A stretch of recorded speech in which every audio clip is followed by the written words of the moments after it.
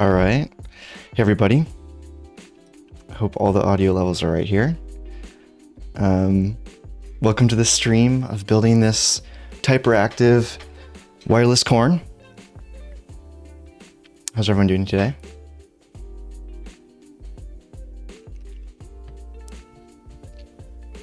So, um, the wireless Corne is something that I've actually been working on for a pretty long time now. Um, and I'm super excited that we finally have it released. Uh, the, big feature of this PCB on its own is that all the surface mount components are already installed for you. So you can see here we've got like a power switch, reset button, battery jack. Got to make sure this is all wireless compatible. And then the backside you have all of your diodes and hot swap sockets already installed. So all that is pre-installed for you at what I would consider a pretty reasonable price. Um, you're barely paying a premium over a kit that you'd have to assemble yourself. Um, I also spent quite a, amount of, a good amount of time having some nice traces on here so you can see the cool traces and stuff. Um, so that's what these uh, PCBs kind of all about. Um, they also, we saw the option of having a 3D printed case. So you can see here, there's a cyan one. Um, it's pretty bright under these lights, but it's a pretty fun color, I think. A lot of people like it. But we have a lot of other colors like black and stuff like that. So, um, yeah, this is like everything that you need to, to build a kit. And yes, I am building with the new easy solder sockets that are called. So in the past, um, if you guys have ever built a keyboard and you probably built it with a nice nano, then you likely use these taller sockets and then these Mill-Max pins. And the Mill-Max pins and sockets are great for, you know, making your nice nano hot swap.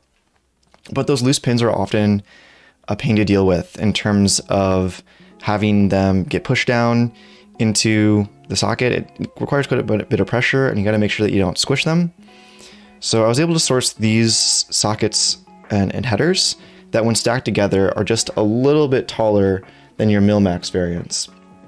So this makes it so that the soldering job is a lot easier. They're a little bit more expensive because they are harder to get and are a little bit more expensive to source, but I think they're a worthwhile upgrade for those who don't want to deal with those pins. Um, so I, I, think for any of those who have not seen a uh, have seen this wireless Corne before, I want to show you one of the really cool things that comes along with this new release. Um, so if we take a look here, we can see that on our website, we have a um, the, the page called the build page. And the build page lets you build your wireless Corne. So how this starts is you select your layout. Um, right now I'm just gonna build the one that we're building today. So for example, you can either get the Corne or the Corne 5 column. We're gonna go with the Corne, then we're gonna select our switch type. In this case, we're gonna do choc. And then we're gonna go ahead and configure it. And you can see right off the bat, we have this cool image of this. And this actually isn't just a 2D image. If I turn this a little bit, you can see this is fully 3D running in the browser. And you can see everything about this PCB right in front of your eyes. And then on the right side, you can see all these configuration options for what you want to have with your Corne. So for example, for this uh, one we're building today, we're to be building this with a uh, cyan case. So we're going to add that. You can see right there, the cyan case was added. And then we're going to go down and choose some clear acrylic covers. You can see there, the light shines on those clear acrylic covers. You can see them there. Um, and then going on to batteries, we're gonna add some batteries. Uh, today we're gonna be using our easy solder hot swap sockets. So add those on. We have nice nanos. We're gonna have nice views. We had a couple left over in our uh, extra stock for um, replacements and such like that. So while they are out of stock on our store, they're coming soon in the future. And today we're gonna be building with them. So have those on. And then uh, we're gonna be building with pink switches and then black MBK. You can see basically this is your keyboard built entirely what it will look like when it's done. So hopefully when I'm done building this, it's going to look a little bit like this. Um, and then of course you can add it to your cart. So for example, if I take off It's a nice view because you can't add to cart with something that's out of stock. You can see then adds everything to your cart. Uh, you can see right here. Um, my car was actually already full of ones. This is two kits. It's not actually that expensive, as you can see. Um, and then you can see some other information. Um, behind me, you can see this actually qualifies for free shipping on Typeractive, and Typeractive will donate uh, 1% or a dollar from your order to support open source. So that's kind of what this kit is all about and what it offers. So I think it's time to just get in and building it. So let's go back to here. All right, so the first thing that you have to do when you build this kit is get the hot swap socket soldered on. So I'm going to clear out some of the stuff over here. We don't really need the case. Set this over here. Don't really need keycap switches.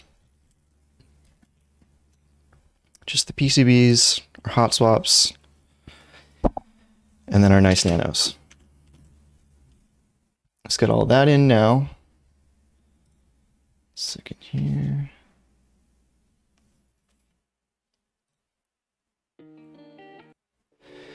Um, and I'll set this all this aside. Cool. All right, so we got our nice nanos, and then our sockets here. So awesome, got everything that we need. I can pop open one of these hot swap sockets kits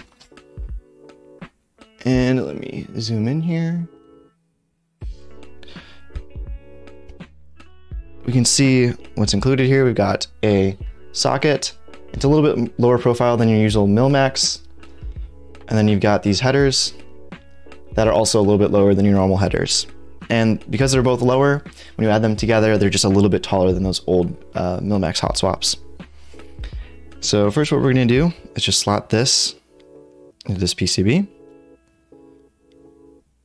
and slot the other one into the other side.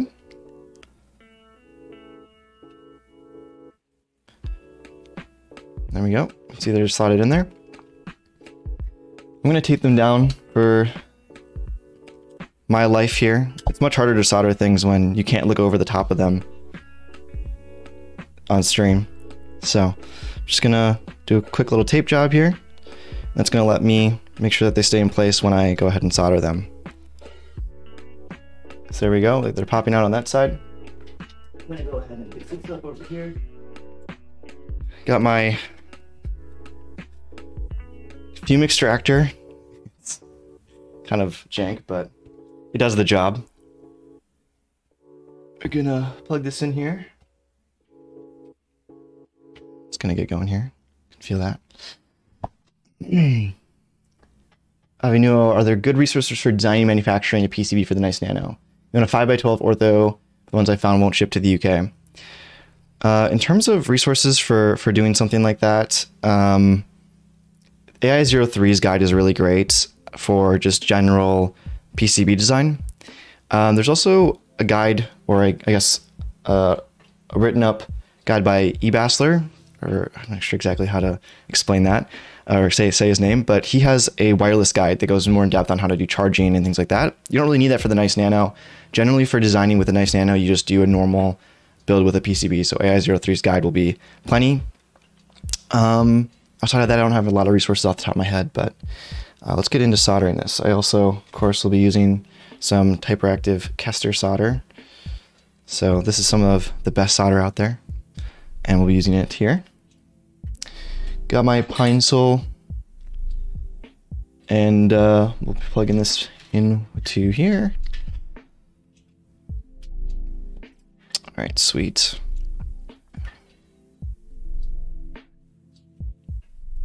Pull out some of this.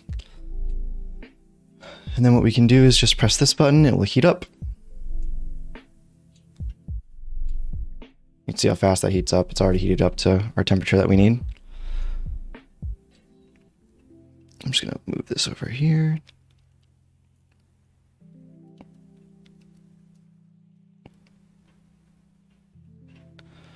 There we go, we got our first joint there. The V2 is in fact green.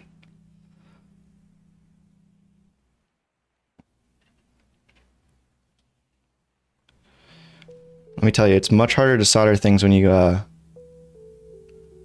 can't look at them closely, but I'm doing my best here. Hey, that just means that if I can do it this, like this, you guys can do it when you can actually look at it closer. And yeah, this this solder is just super awesome. Like it just works super great. Solder like this is just so nice. You don't realize that you're missing it missing it until you have it. It melts so easily. I had some old stuff that I used from Amazon for a really long time and I'm really glad that I finally switched to Kester solder. All right.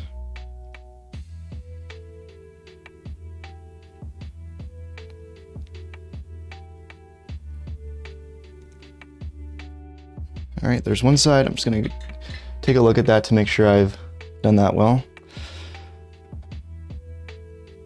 A little bit of a sloppy job there, but it will do. That's another nice thing about these sockets. They're a little bit more forgiving than the other ones. So I should be totally fine. I'll keep going on this.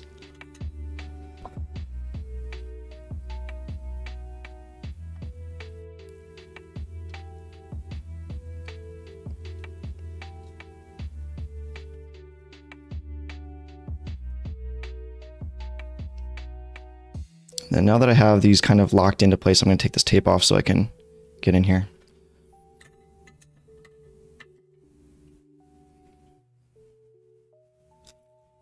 There we go. Tape is off.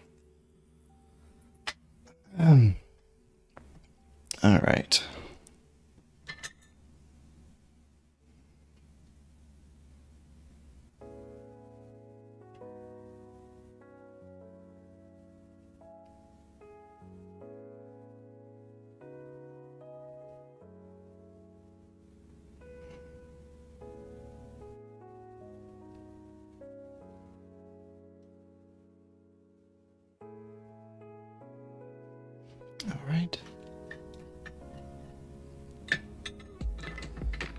Was the tape for? So the tape I used just because normally when I do this, I'll have it up close to my face like here and then just solder one of them in to hold it in place.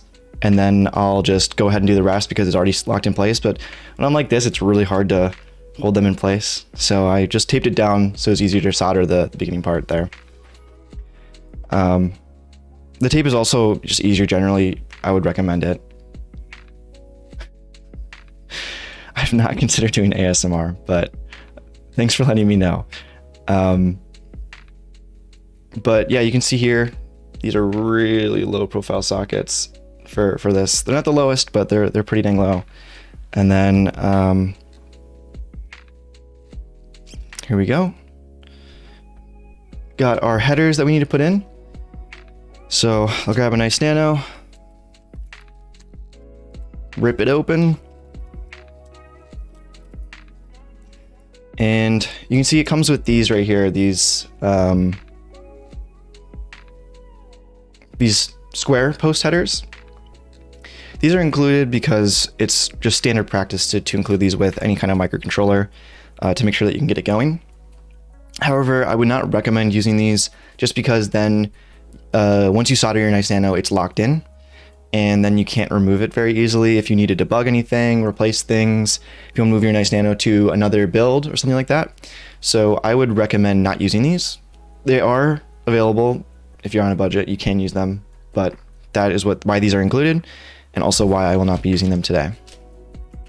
So throw them back in here. So we got these again.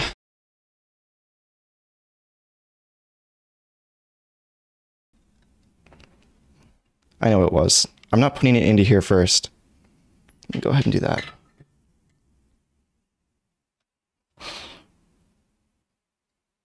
Throw this into here first.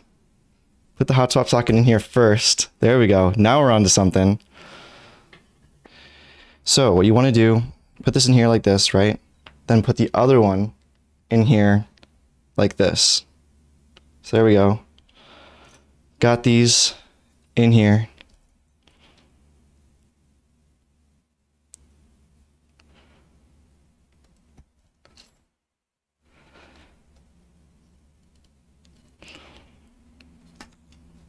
There we go. Awesome. Now we got these stacked here. The stream nerves got to me today, guys. I'm so sorry. I apologize for those two mistakes here. so there we go. We got those in. Then you flip the nice nano over and magically now it's installed the right way because I'm actually paid attention. Okay, so let's go ahead and do that. And yeah, yogurt, the, the main thing was that native USB.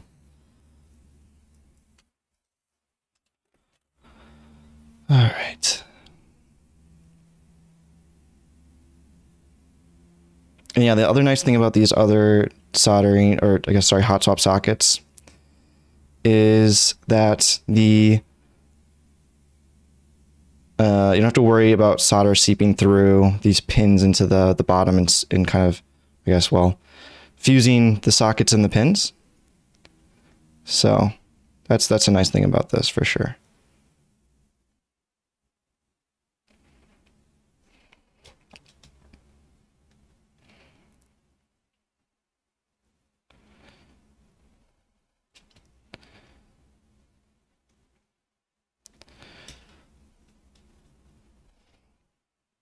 All right, awesome. I think we have to pull off some movie magic here in the re-upload where I already have this one done and, and go doing the, the right half the correct way. That's pretty funny. Okay.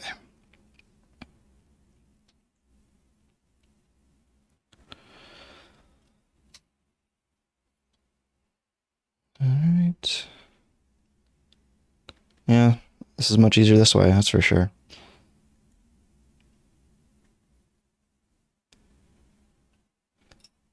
Cool, got that. Got that.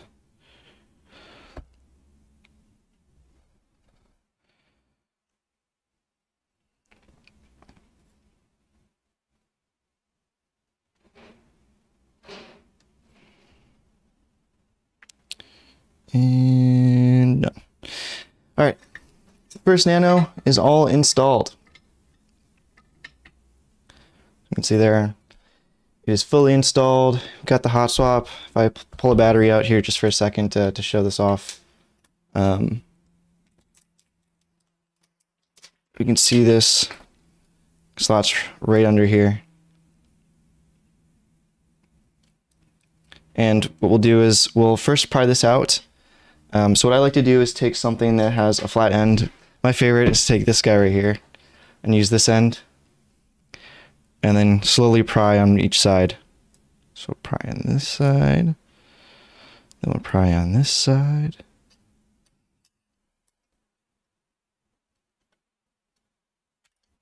Okay, well, that went quick. There we go. Then, because I pried it out so quickly, I have to bend this guy back a little bit. There we go, all good. Beautiful. So there we go. Nano's out, all socketed, clean.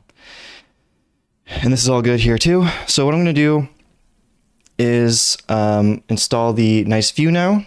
So how I'm going to do that is take the uh, nice view I've got here.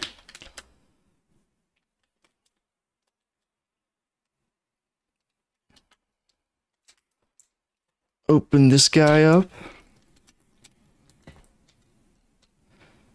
And there we go. Got the nice view here. Put this into here. See it lines up right there. Got to make sure it's all straight. I'm going to flip it over here. I'm just going to solder really quick here. Okay.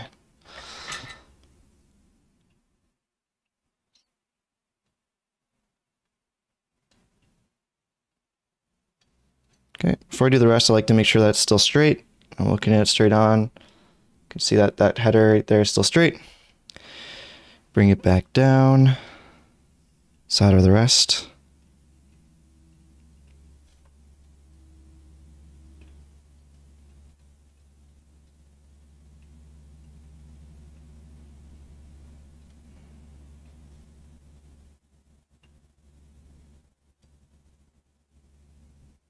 Okay.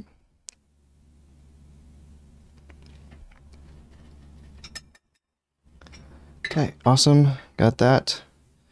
Now we got the socket in there. We can now install this guy. So you're going to want to put the short end up here. See it like that. Then once again, you're going to want to do this. Put it over here. Solder one pad. So I'm going to solder this one over here.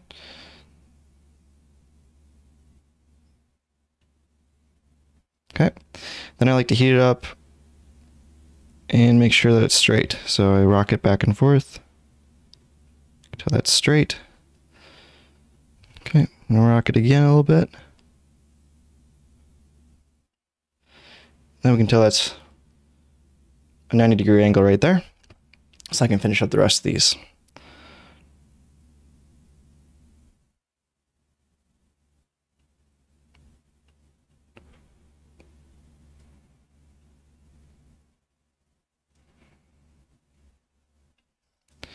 Okay.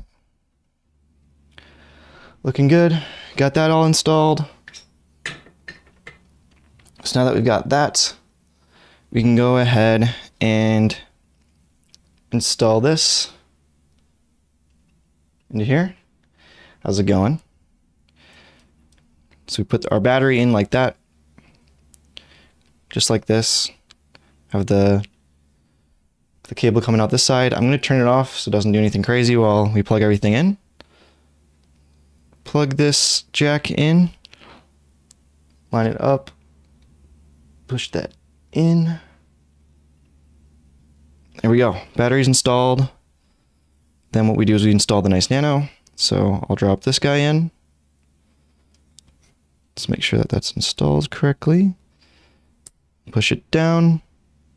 There we go battery, nice nano installed. If I turn this on, let's see, does it light up? Yep. so as you can see that, the light's on, so everything's all powered correctly. Yeah, I did design the nice nano. Um, the, the battery jack leads are a little too long, so I just kind of crush them together a little bit like this. Not too hard, you don't want to do anything too crazy, but just kind of push them, massage them into the right area so that we got some space along this edge here. And then you can slot in the nice view. So put that right on top. And just like that, we have a nice happy sandwich of um, battery, nice nano, nice view. It's a nice little sandwich.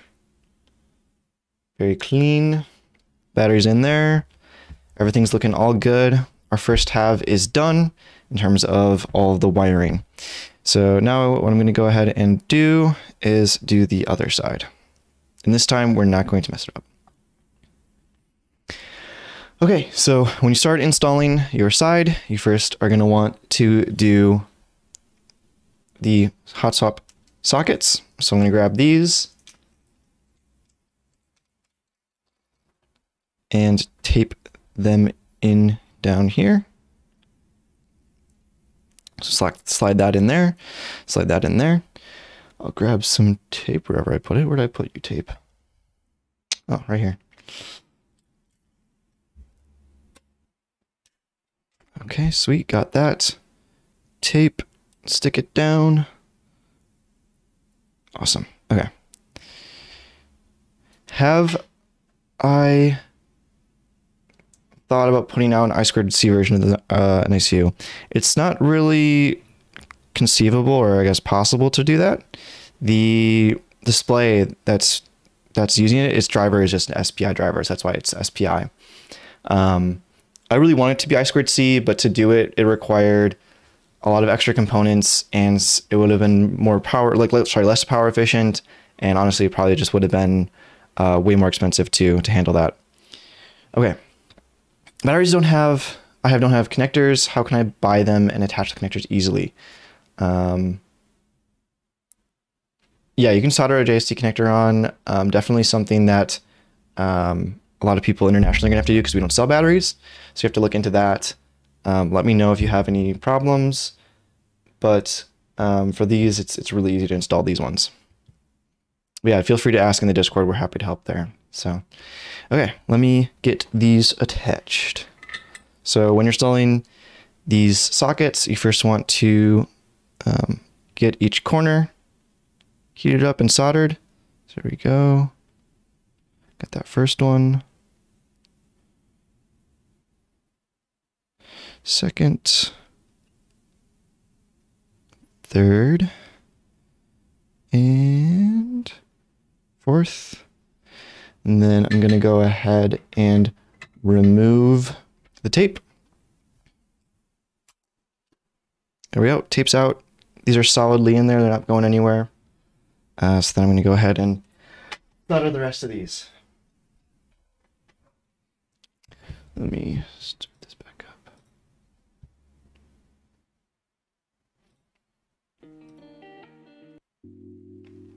Okay.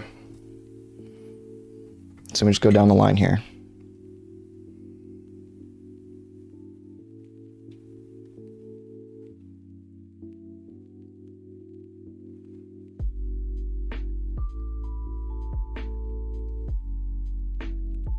Awesome, got that.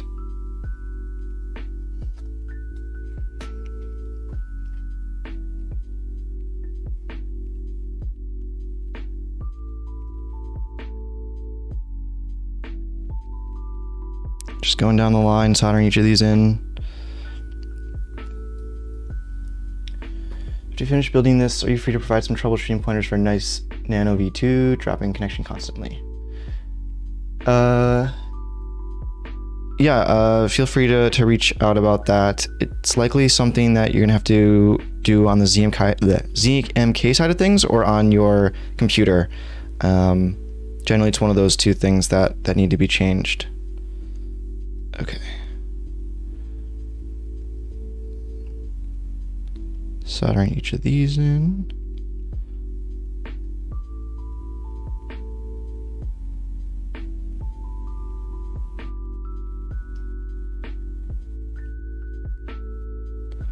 Alright, let me double check my soldering joints from up close.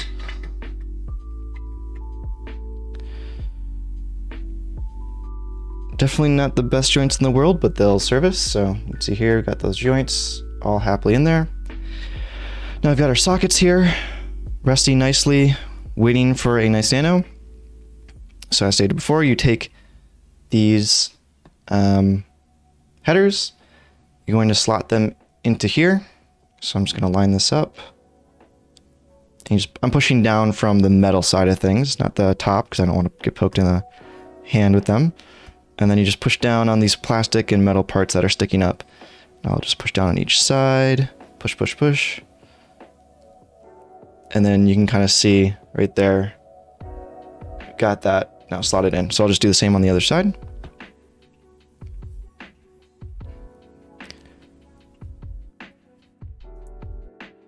Oh, I installed this wrong wrong. Pop this back out. Make sure that you actually get all 12 in to the 12. So let me do that again. There we go. Got that one and popped right in there. And there you can see, got them all set up. Grab your nice Nano.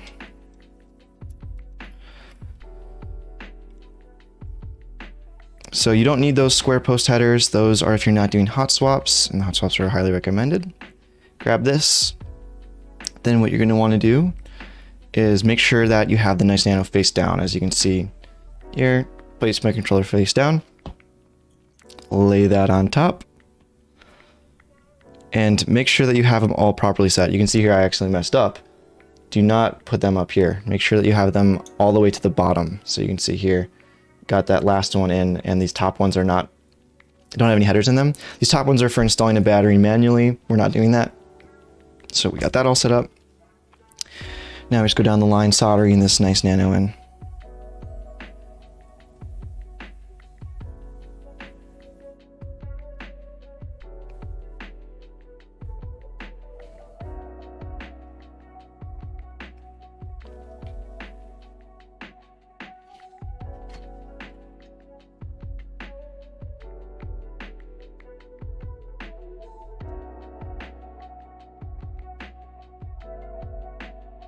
I'm just trying to clean up a little extra solder there. Okay.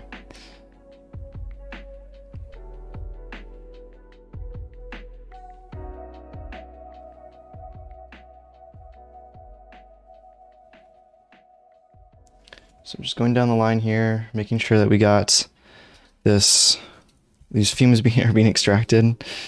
It's something that you want to definitely be partially aware of.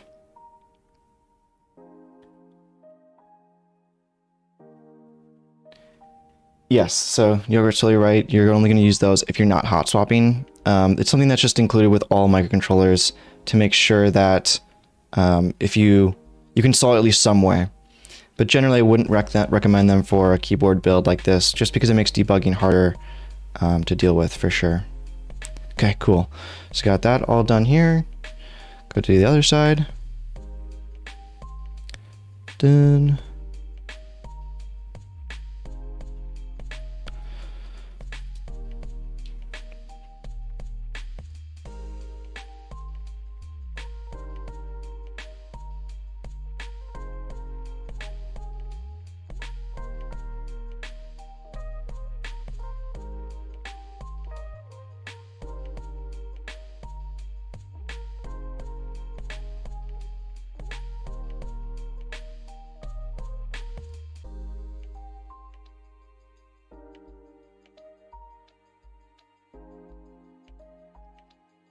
The soldering iron is the uh, Pinecil.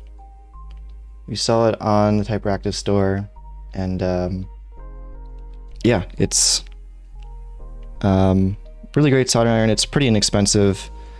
I've been a pretty big fan of it so far. I might get some new tips for it, but other than that, I've been really happy with it. So yeah, let me show you how it's being hot swapped. So it's soldered on, on both sides, right? But the hot swap part of it is that you have headers and sockets, right? So once you take, you can now take this nice nano out and it's separate. That's how it's hot swap. Um, and I usually do 300 degrees for the whole build. I wouldn't go higher than 300 if you can all avoid it, but 300 should be safe for most components as long as you're not holding it too long. Um, yeah, okay, so now that you have this in here, we need to install our battery and nice view. So what I'm gonna do is take a flat end of something and slowly pry this out. So over here, pry this just a little bit.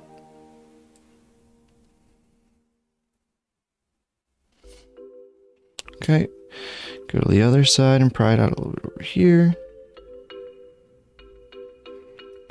Back over here.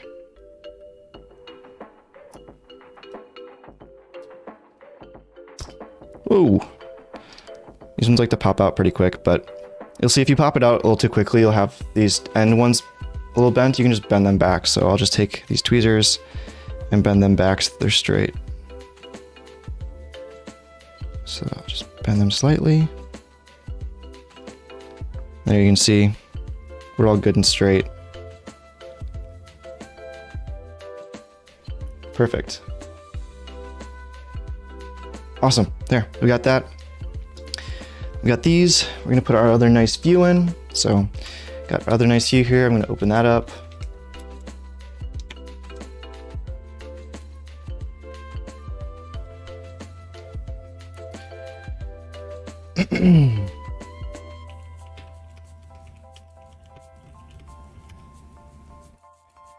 Yeah, 300 degrees is definitely like the highest you want to go, but it makes things a lot quicker for me personally for heating up the solder. Um, a lot, some people were, I was talking to were soldering at like crazy high temps, like 350, almost 400, something like that. And I was like, geez, that's, you're going to just start destroy things like that. So I wouldn't go any higher than 300.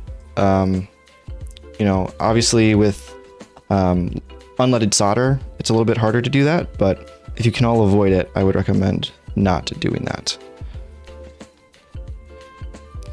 There we go. Make sure that's in there. Okay, got that nice view socket in there. Now I just need to solder it. Set it like this. Do some of that. So I'm just gonna solder one of these in the end. Make sure it's still straight. Looks straight to me.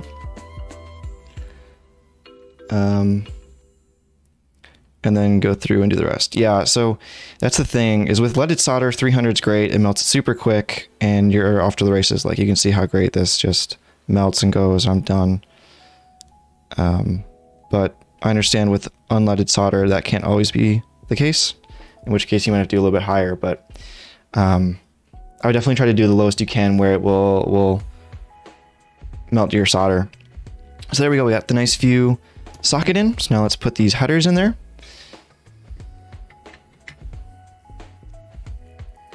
The short side's going to go up into the nice view. There we go. We can see that. Set it like this. I'm just going to solder one pin of these.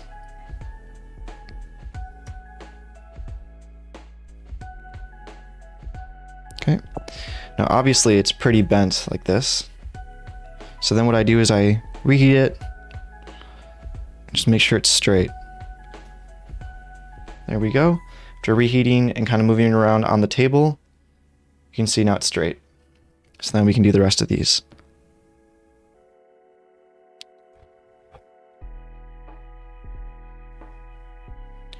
Okay.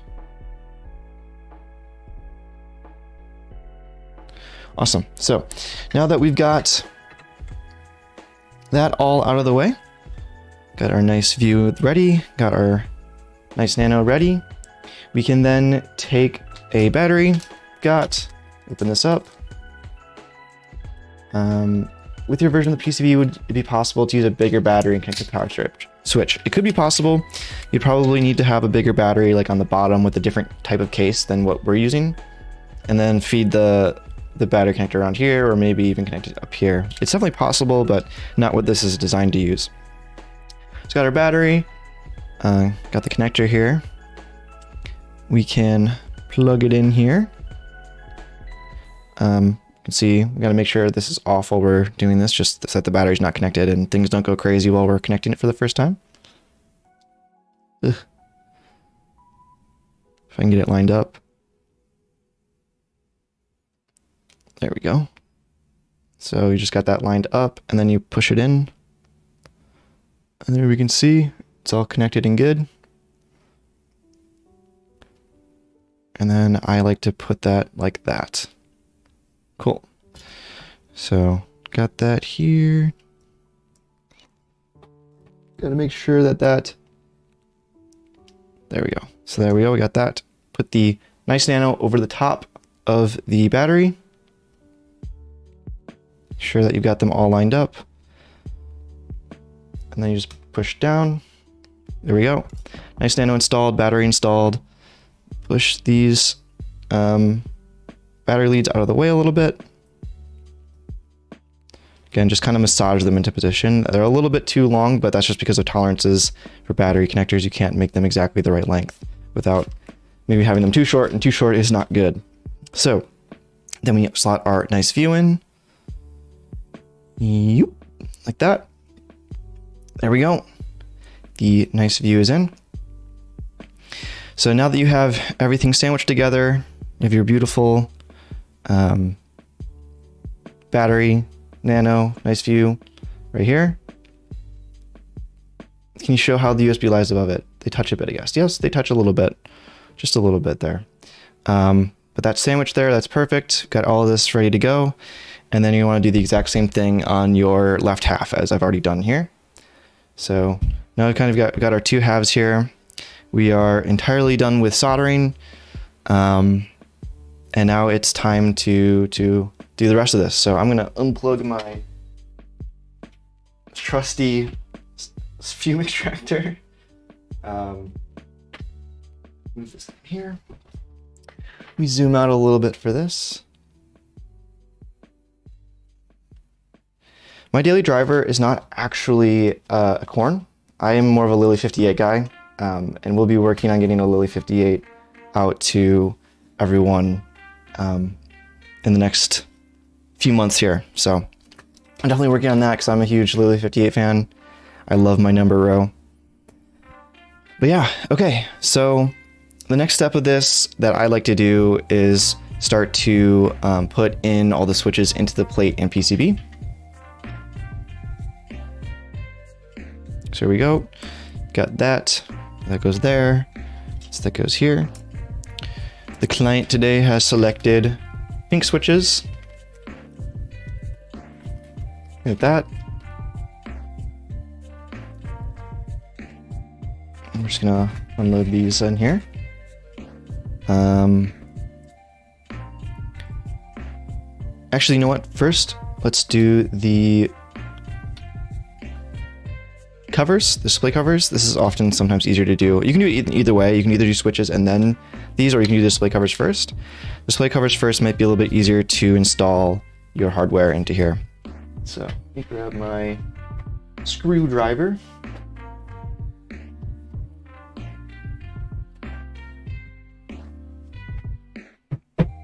Cool. So when you're given this, you're given your two covers right here. And then you're also given these. So when you have your nice view, then the nice views come in, they actually have a protective coating on them, or sorry, like a a screen protector like you have on like a phone when you get that. So it's the same thing that we're gonna have to take this off. I'm gonna take this off right after we put these in. Do I use ch uh, choc switches on my main board? Yes, I on my Lily 58 I use choc switches. I'm a pretty big fan of choc switches. Honestly, they're it feels nice to have your hands closer to the table, I guess. Um, but yeah, the, the, the pink switches are not for everyone. I'll definitely do that as a warning. They're pretty light, so I would recommend only doing them if you're uh, pretty comfortable with light keyboards. So you'll see here um, the hardware that you get. If you can see that all here, you get some uh, M2 by 10 millimeter standoffs, and then you get nine screws, uh, one extra in case you lose it. So what you're going to want to do, I like to do this to start off the standoff, is I kind of just push a screw through, and then I take my standoff and I get it started by just screwing it on with my hand.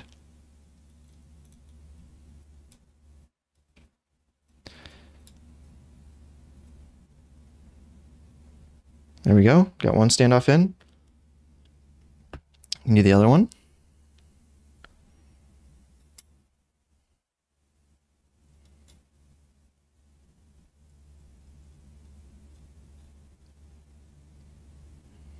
There we go.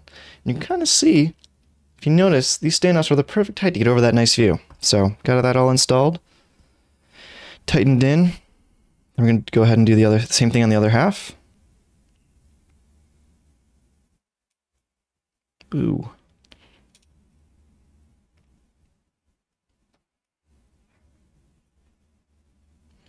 The display hot swappable too, yeah. So the sockets and pins that are included with the the nice view do the exact same thing. Um, if you notice when I installed that, I just kind of pushed it in. You can pull it right back out. So um, you can see here if I pull this out, it comes right out, and then yeah, the nice view is out. Um, and you can buy more of these sockets to put in other keyboards if you want to move your nice view around as well. Um, yeah, there we go.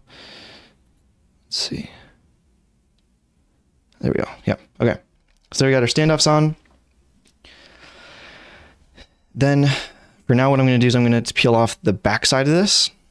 So you just take your fingernail, try to get hold of that paper. This paper backing is used to make sure that it's protected in transit to you. Um, so we get that. There we go. So I'm just going to leave it on the top for now to peel off later. Put that down there. So before I put the, the cover on, the display cover on, I'm going to go ahead and peel off the protective um, film on here. So just go ahead and run your finger along that edge.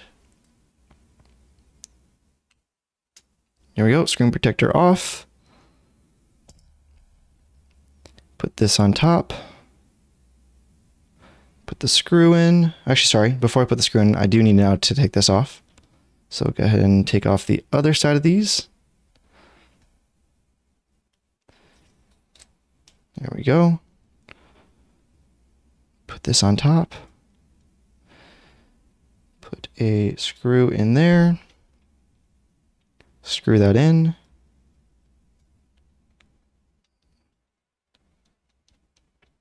I'm not going to tighten it all the way. And now I can put the other one in on the other side.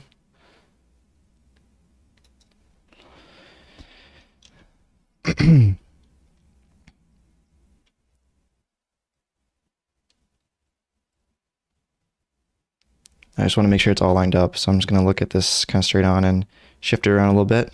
Got that good. Tighten these both up. There we go. Got that all nice and protected. Yeah, it's not a big deal if you don't take off your, your nice view protective thing. It's not going to hurt anything. It's just something that it's good to do. Is there an API framework that would help me easily display custom data on the nice view? Uh, whether based on data pulled from the internet. Um, I don't know if there's a way to do that right now. That would definitely be a ZMK firmware type of thing. There's definitely some really cool widget stuff that you can do using uh, what, what ZMK has, but that's going to require a lot of other work to get information from the internet. okay, so now we're going to do the exact same thing on the other side. So I'll just peel these off.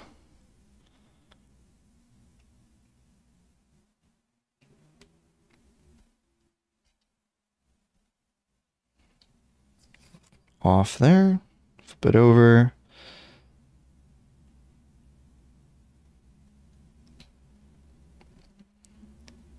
There we go. Peel that off. Set that on top. Get our screw in there.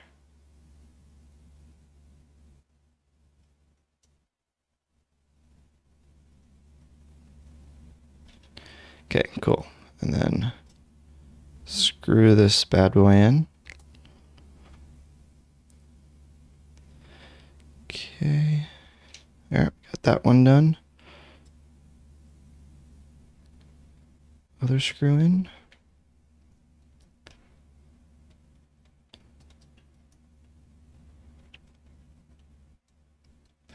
There we go. So now you can see we got these both these halves in.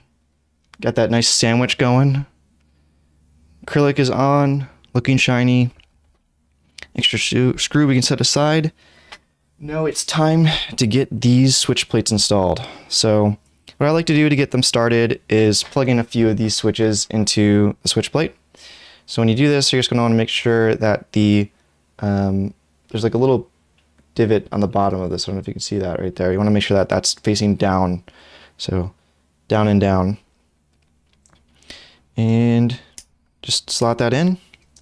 There we go, we got one in. I'm just gonna put like three or four or five in before I start putting them into the the hot yeah, there's no foam in, foam in this. Um, the foam, uh, a lot of people like it for, for sound, sound dampening and other, other things, but there's no foam in this. I don't know if it affects Corne keyboards that much.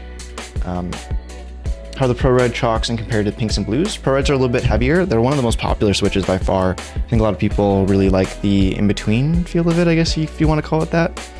Um, so that's highly recommended. Anyways, as I was saying, you can see once you get like five or so switches in here, um, you can put more in if you want. That's that's totally cool. I'm just gonna make sure all the pins are straight.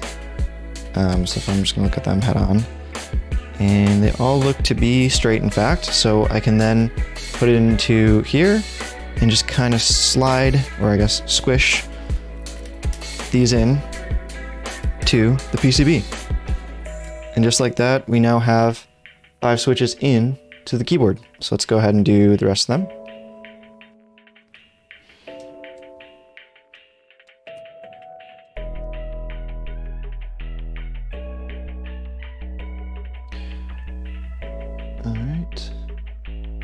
like some blues and reds and now some pro reds. Like you said, a middle ground. Yeah, definitely a middle ground. Um, it also seems to be one of the, definitely one of the more popular ones. I'm gonna lower this a little bit. All right, there we go. So, just working, just slide each one of these in.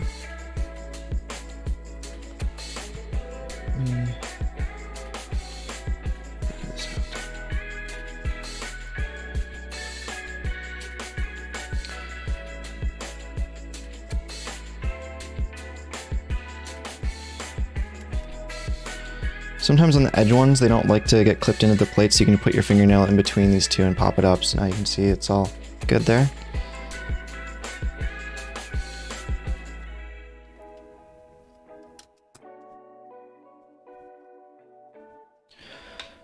it doesn't like to clip in. Sometimes I'll also put in my tweezers just to like kind of force it up a little bit. Um,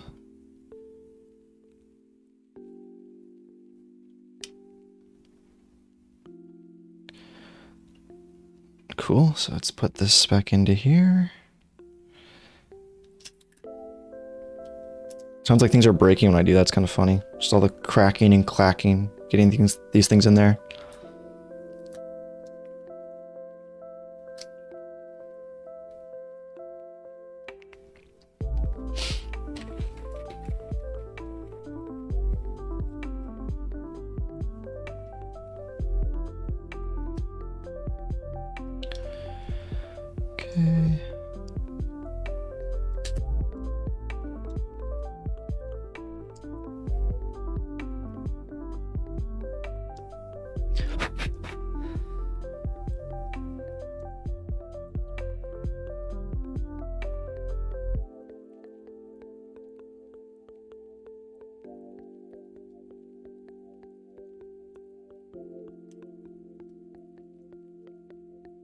Beautiful.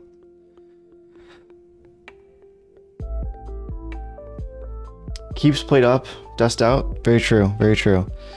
I mean, definitely foam is something we can look into, um, but um, I don't find it too necessary for, for my use case, but definitely it's, it's an option that would be pretty cool. I think especially it can be helpful for ones that don't have a case because there's then the sides are totally wide open. In this case, with the case that we're using, it shouldn't be as big of a deal with the um, case like this, so.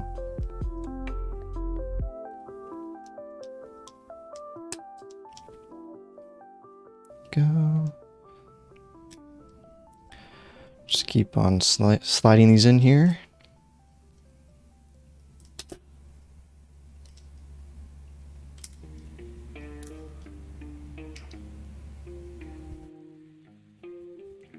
Cool. Just got two left on this side.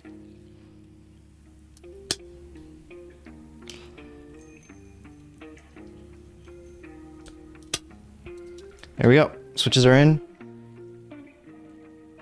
Yeah, you can see how thin this is. It's very thin. Um, I think it's pretty amazing. Um, let me see. Do I have something to compare it to? Um, I mean, I have an MX switch somewhere around here. Yeah. Here's like a Gateron Black ink. Just for example, just the switch. I put this the bottom here. You can see how tall just the switches.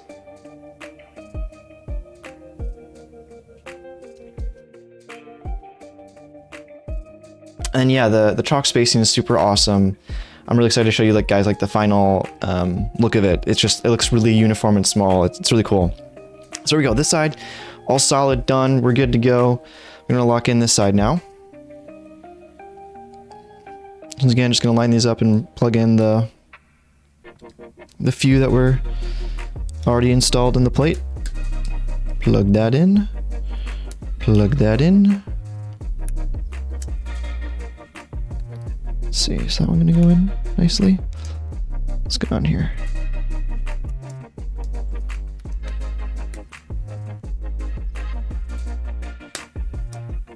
There we go.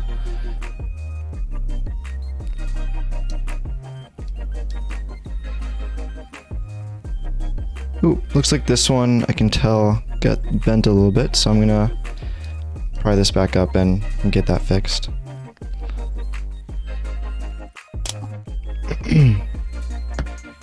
so there we go, we can kind of see it got curled over a little bit. Very sad, sad one. So I'm just gonna set this aside and we can use this one instead. Um, one of the nice things is when you buy this kit, you'll have a few extra switches as well. So you don't have to worry about things like that happening. You can use a different one if you don't want to try to fix that one. And there we go. That one slid in really nice. So good see. You can see when you see the little two dots, you know that's when it's good. yep. So there's going to be a bottom plate of sorts. It's a case. It's this 3D printed case. Um, I spent a long time tuning our 3D printer here to make sure that it looks the best for for you guys. I mean, Obviously, the camera isn't picking up every last detail of it, but you can tell this is a pretty clean print. Um, spent a long time working on that to make sure that it was the best. And the bottom is a kind of a rougher texture. Again, I don't know if the camera's going to pick that up, but but yeah, it's printed from PLA Pro. It's called, um, which is just a modified PLA. It's a little bit stronger uh, by Polymaker. So they make some pretty great stuff. That's what we're utilizing here. Um, yeah, I'm a pretty big fan of it.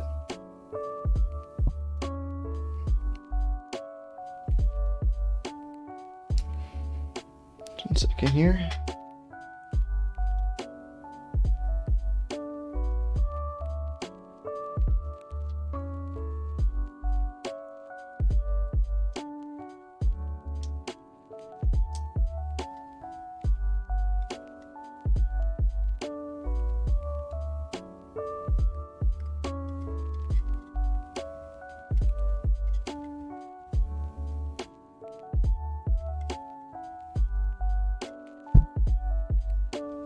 There we go. Okay. Let's go ahead and put in the rest of these now.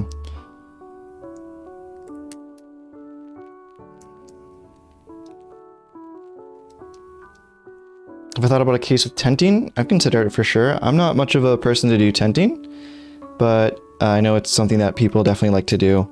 So I'll definitely be looking into, is that something that we can do for, for a case?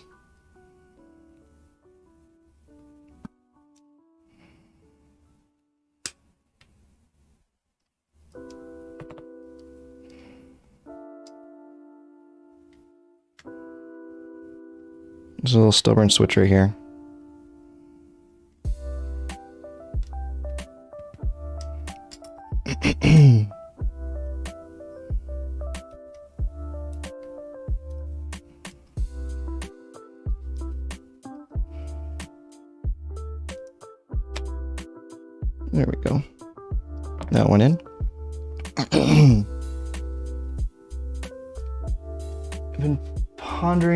Printing a tenting case that can take a huge battery. Yeah, that'd be pretty cool. Um, something that could probably be done. Don't know exactly what it would take, but it sounds like something that's definitely possible.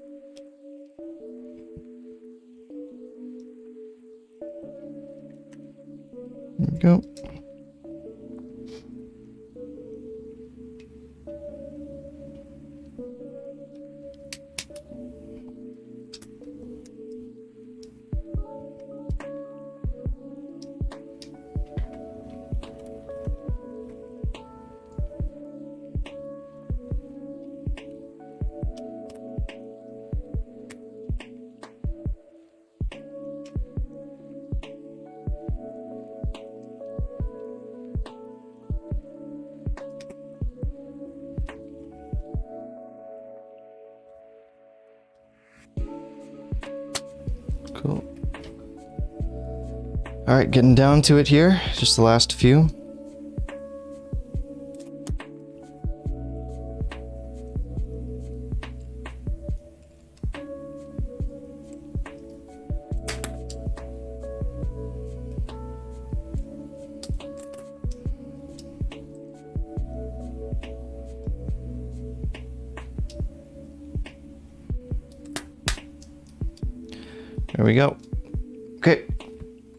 Our two sides here all done and dusted here.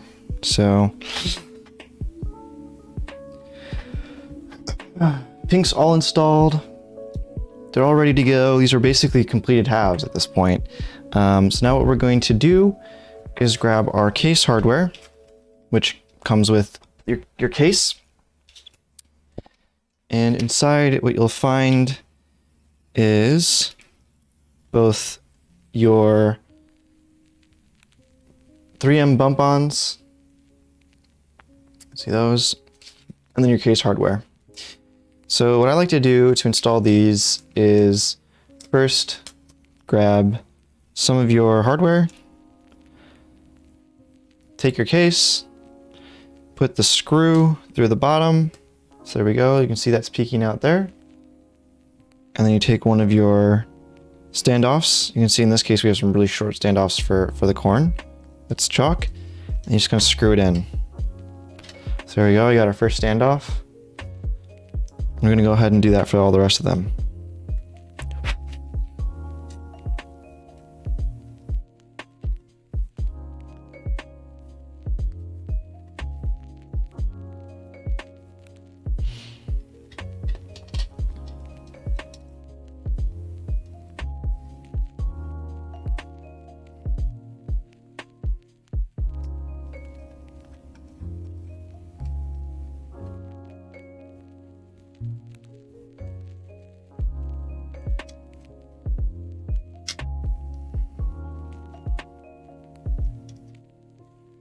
In this case, we give you, I believe, 10 standoffs and 21 screws. Again, one extra screw in case you lose it.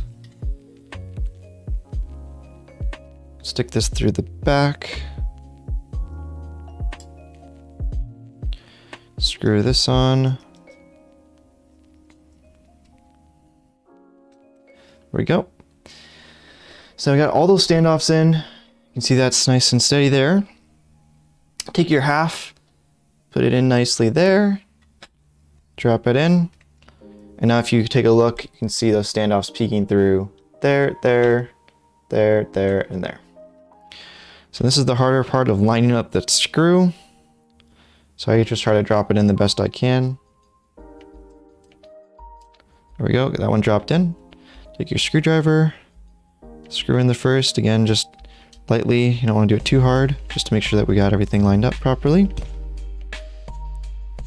Do your second one.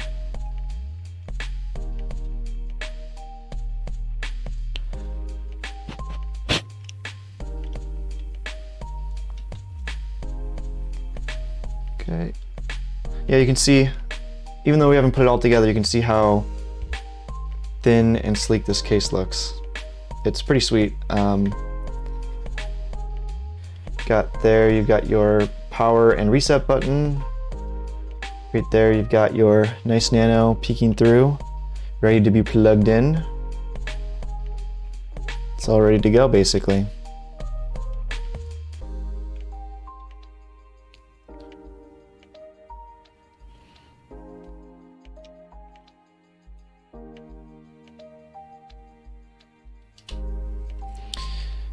Because uh, the choc spacing is so close, sometimes when you do these screws, you might barely touch the, the um, switch, so don't worry too much about that, but something like that. Um, let's see, do I have my old Lily? Let's see.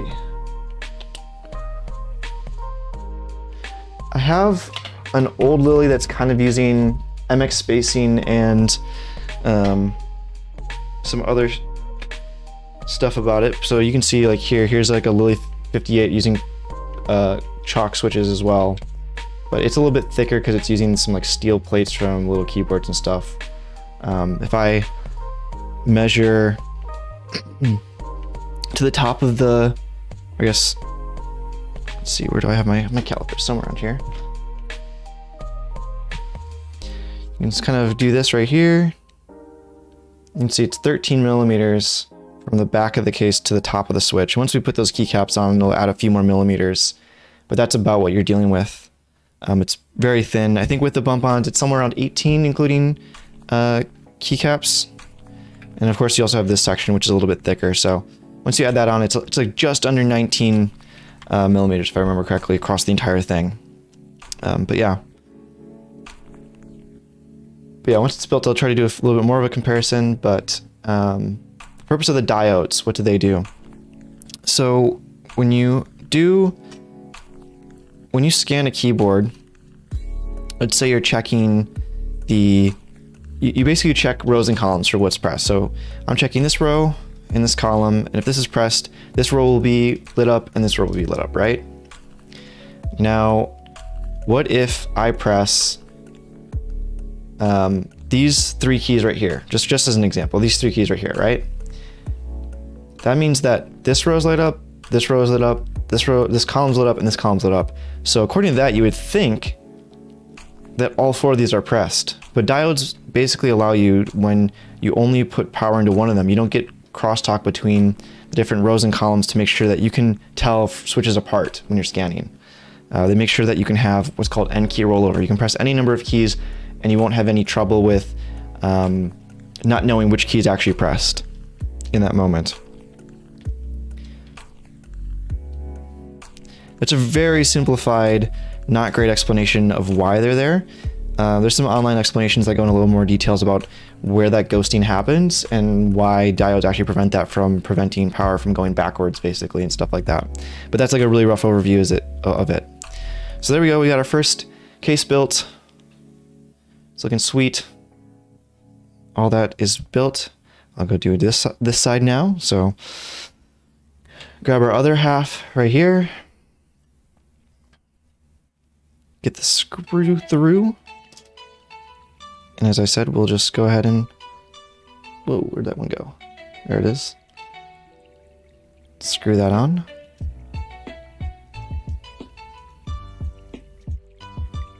There we go.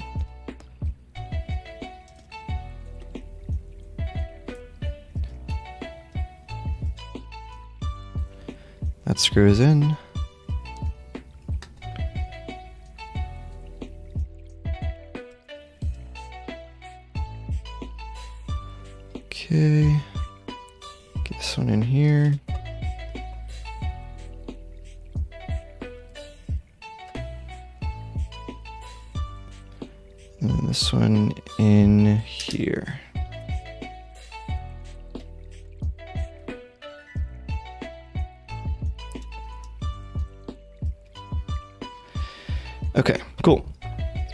In. Once again, just kind of drop this into here. Once again, we can see those screws are lining up in each of those holes here. Oh, that's working great. Um,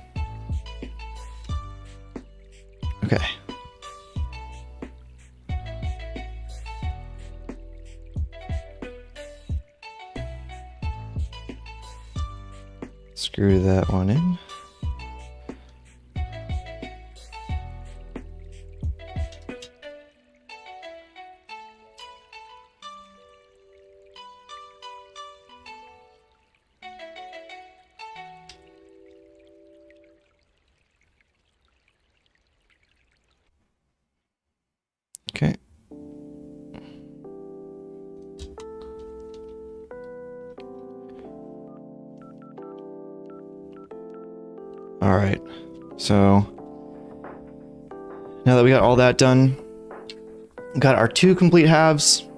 They're almost ready to be uh, flashed with firmware and put the um, them through their paces.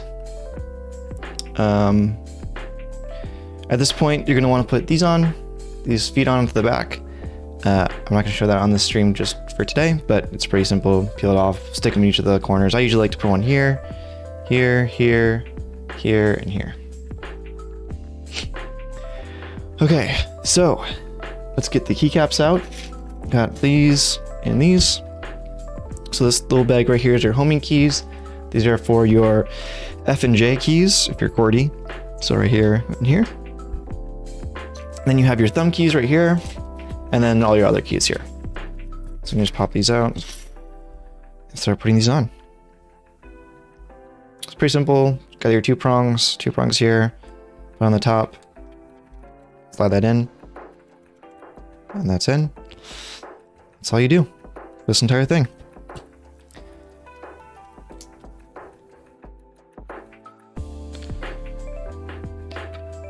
Yeah, I've considered switching to Colemak. It's it's definitely one of those things that is very appealing, but I've never um, put the time into doing Colemak. I did learn it at one point and then I forgot it. Colemak is actually what I learned touch typing on in middle school. And then I moved back to QWERTY just naturally, so. It's kind of interesting that I originally learned Colemak and now I just don't know it anymore. I was very uh, curious about alternate layouts in that time for some reason. There we go.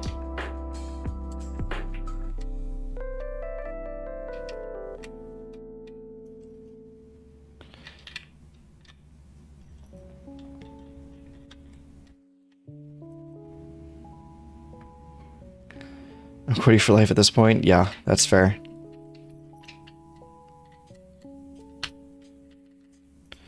Awesome.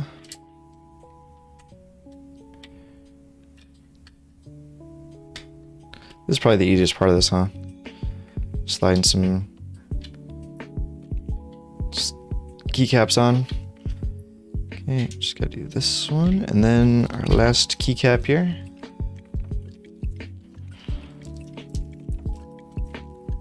Slide that on. Did I get that one all the way on? It's hard to tell. There we go. There we go.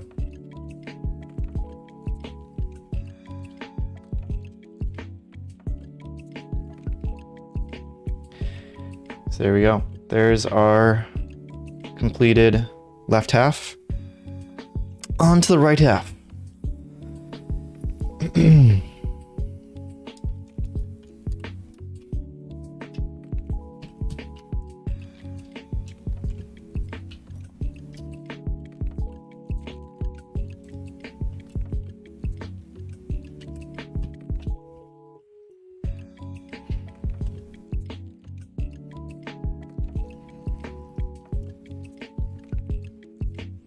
Yeah, some people don't like the cyan, some people really like it. Um, but that's that's that. Uh, there's also, of course, black that we have. We've got a green, uh, magenta, purple is now included. So there'll be more colors to come, but this is always a fun color that I think catches people's eyes, even if they don't really like it personally.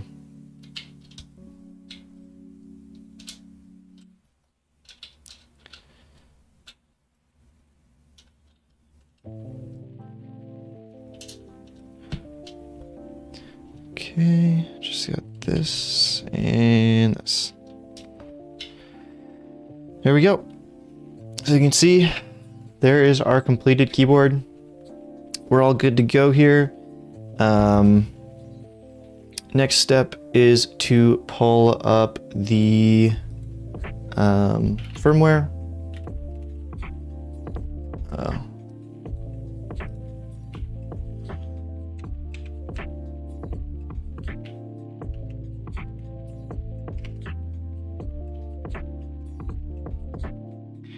Uh, I mean, once it's all together, I mean, I, I can try to bend this for you, but...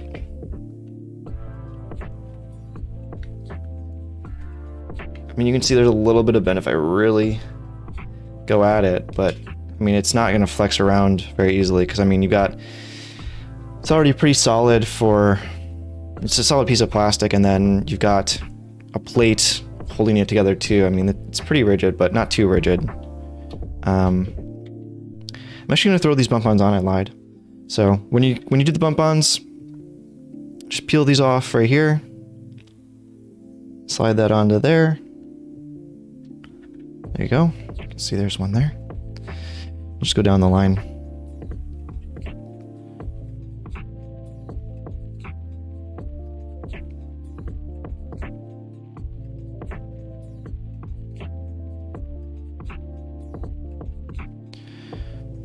Yeah, like the fifth one right here.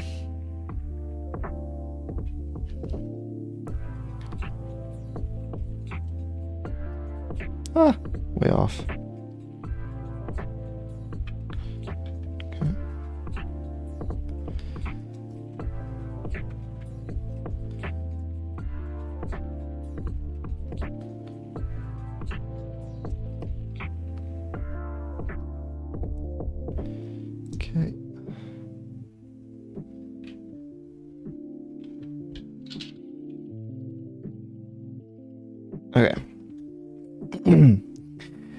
We go. Got all this set up.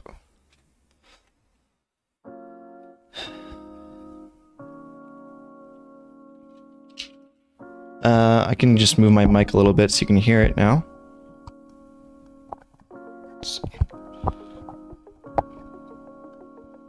I don't know if this is going to pick it up. I think I might have to turn off the, the noise suppressor. Let me see.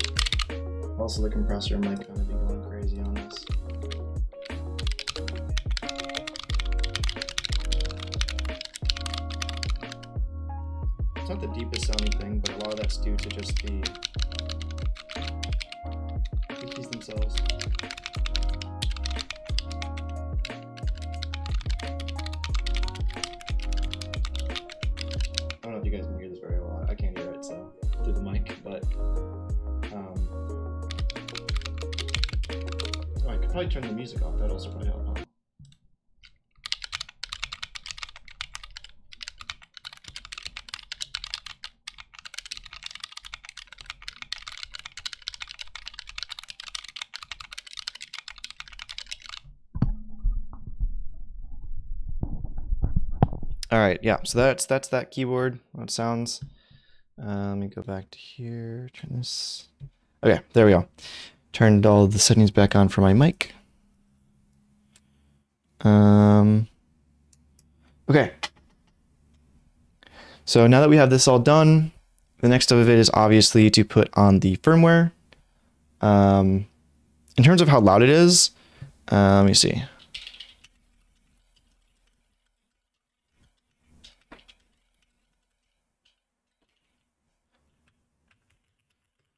It's definitely louder than a membrane keyboard that you'd have in an office.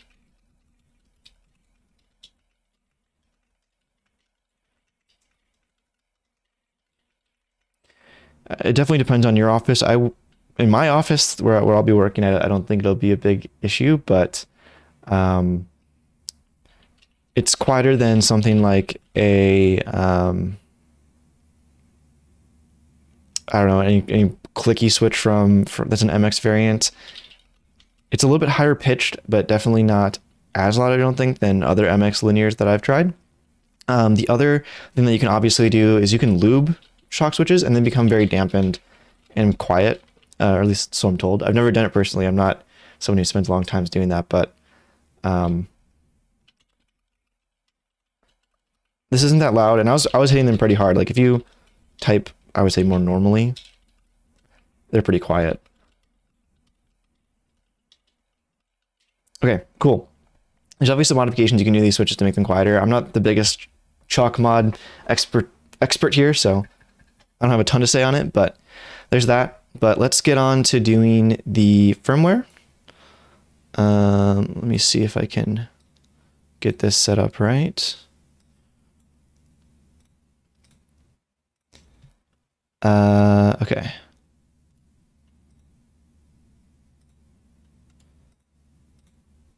Let's see.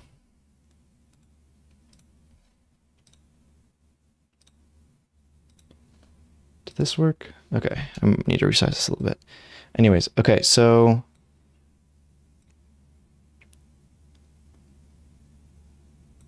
All right, so when you have your firmware, we have this build guide page that I'm still working on, and I'll hopefully have complete soon so that you have the same steps that I've done here in a very concise manner.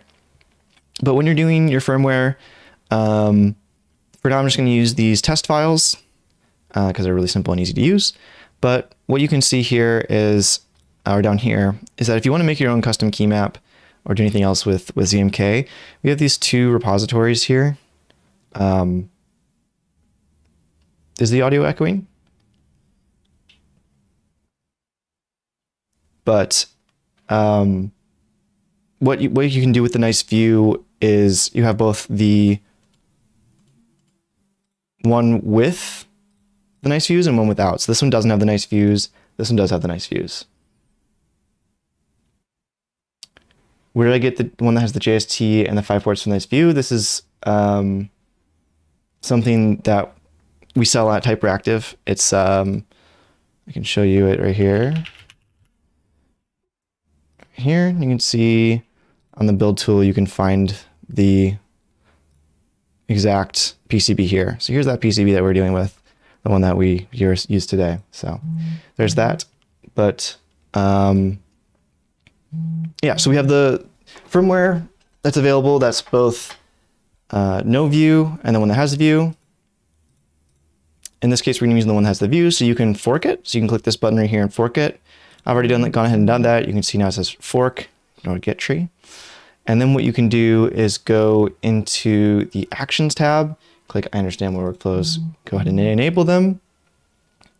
And you can go and edit your key map in here in the config corne key map. Go ahead and finish, change any of these at all, however you want. Uh, once you've done that, you can save that and it will start a build. I'm going to start one uh, manually, or I guess I don't need to start one yet manually, but it'll start to build it, and then you'll be able to find it in a tab like this, where you'll see um, a list of this, this firmware download. And when you download this, it gives you a zip that you can down uh, that you can open up and get your two files. In this case, I'm just going to download these two to test it. So my left half and my right half. You can see they're right here. Uh, now what I'm going to do is uh, plug in this left half and then put in the left firmware. So I'll just do this on my side. Got my cable right here. I'll plug this in. See the screen kind of goes crazy. Um, the nice!nano shows up as a drive on your screen.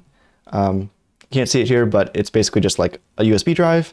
And then I just drag over the left half um, onto the uh, nice!nano here. Give it a second to copy over.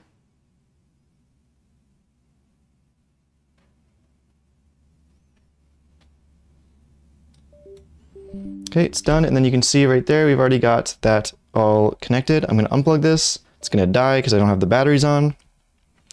Going ahead and go over to the right side. Give it a second here. Um, then put the right onto that side.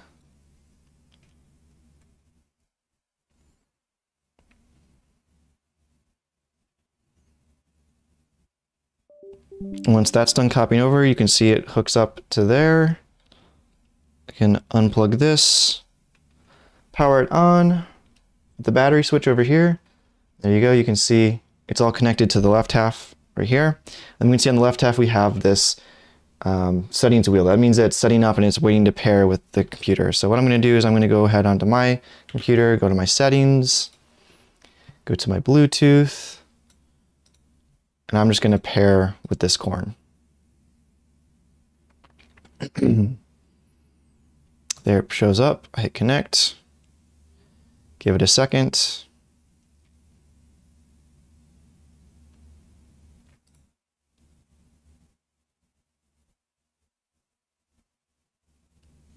I have to try to have it connect a couple times. You can see there, it's all connected now.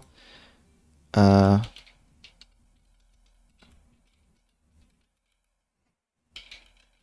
and it's all typing. So we're all good. I'm typing everything, blah, blah, blah, blah, blah. It's all working.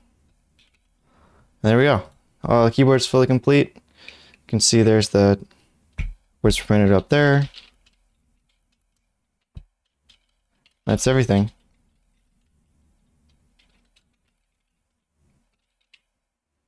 Cool. So there we go. We got a complete, fully built Corne um, there's the firmware, everything like that. Uh, I think that's just about everything for this build. Um, if there's any other questions, I'm happy to answer them now. Otherwise, I think that's about it for this stream.